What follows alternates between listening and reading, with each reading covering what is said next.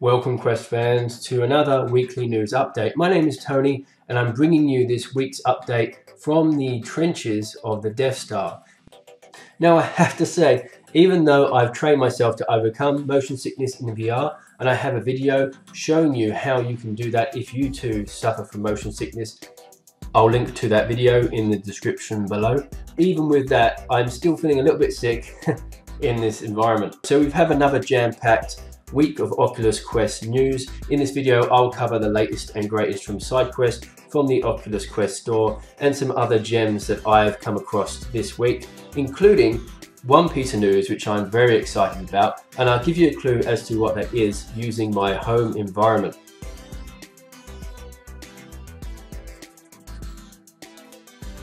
So join me as we go through the Oculus Quest news this week and subscribe to my channel if you want to be kept up to date with the latest in Oculus Quest.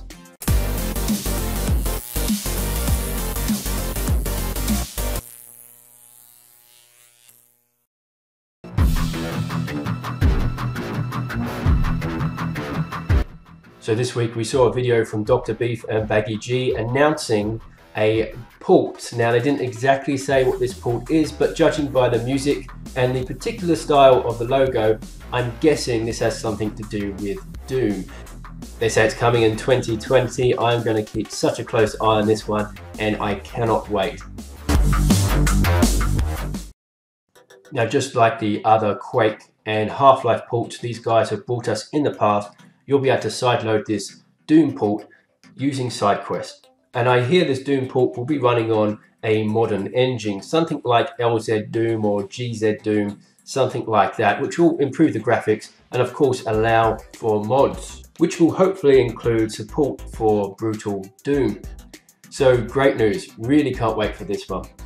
And speaking of the Half-Life mod, there has been a new update, version 1.4.3, that you can now download from SideQuest. It includes a flashlight model, which feels better to control, some new translucent hand models, and the ability to quickly double tap jump to trigger a crouch jump, as well as some other bug fixes.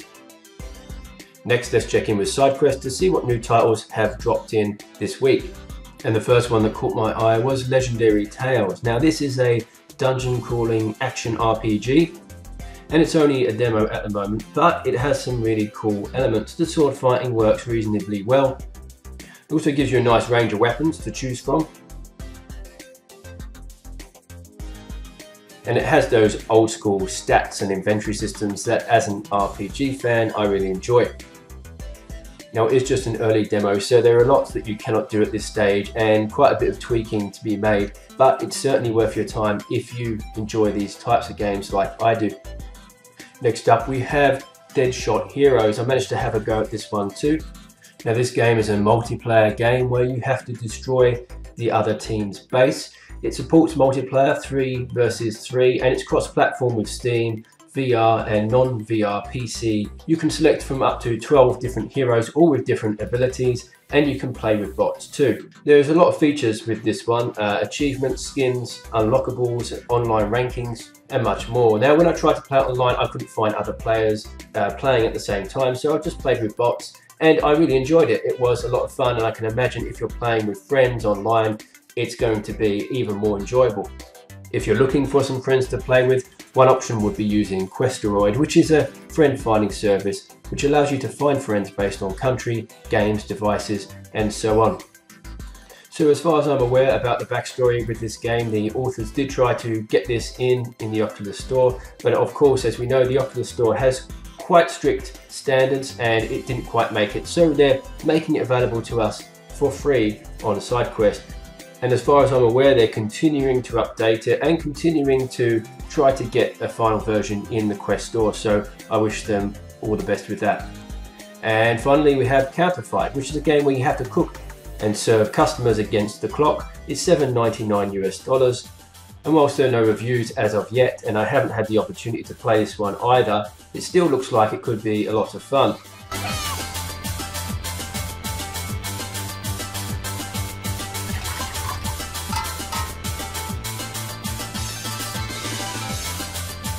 It actually reminds me of a free WebVR game I played in an earlier video, which I'll link in the description below, called Barista Express. So if you're in the mood for a game like this, but don't necessarily have the money to spend, then Barista Express might be a nice alternative.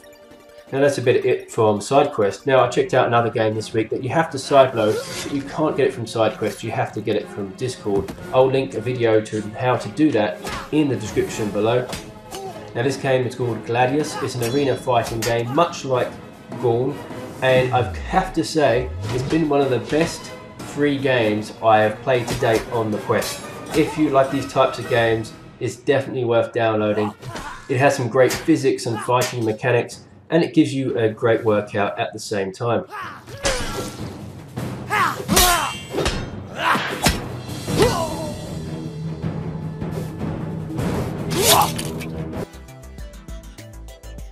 Now the next bit of news is a bit random, but I found this request for people to playtest a mysterious shooting game and I was intrigued. So I did sign up for this. Um, they will contact me, hopefully, to talk about playtesting and can't wait to see what comes of this one. So I've included a link to this in the description below in case you're interested.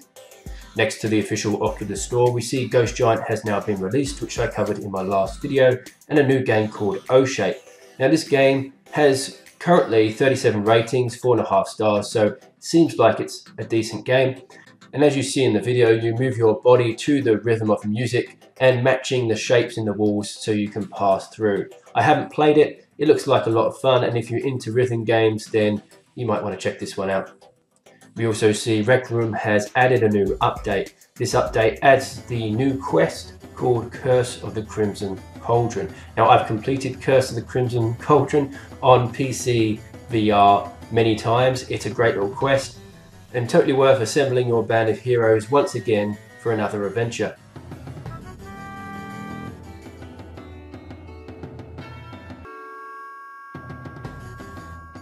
Eighteen.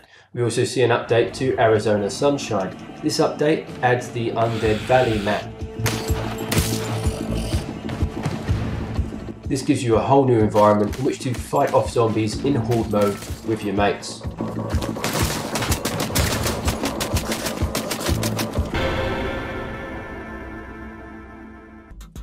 So that's about it for the Oculus Quest store. Another fairly dry week. Let's hope it picks up throughout the year and we see more new titles.